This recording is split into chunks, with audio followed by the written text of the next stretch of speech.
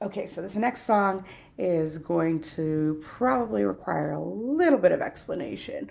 This is my first venture into children's songwriting, and I probably wrote it when my little one, who is now three, was probably three or four months old. She was getting a little grabby when I was changing her diaper, and this has since become one of her favorite songs because, well, she's three and three year olds are, well, three year olds. So here it is. Oh,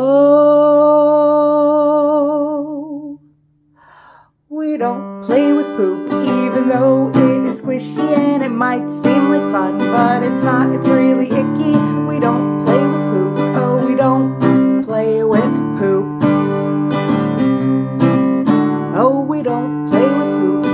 Brown and disgusting when it comes from your butt, so I think you better trust me. We don't play with poop, oh, we don't play with poop.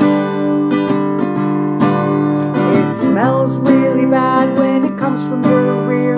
You don't want me to tell you, but I think you ought to hear. We don't play with poop, even though it is squishy and it might seem like fun, but it's not, it's really